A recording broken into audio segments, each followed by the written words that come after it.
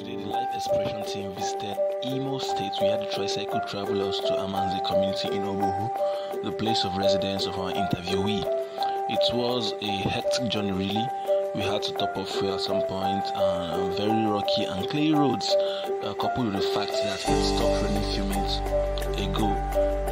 It wasn't typical of those long interstate travels in Nigeria in which one would get bored and shiver legs. Uh, we had beautiful sights to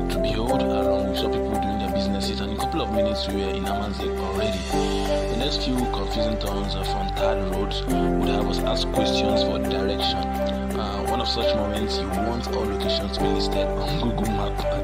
Alright, um, so we are at this compound now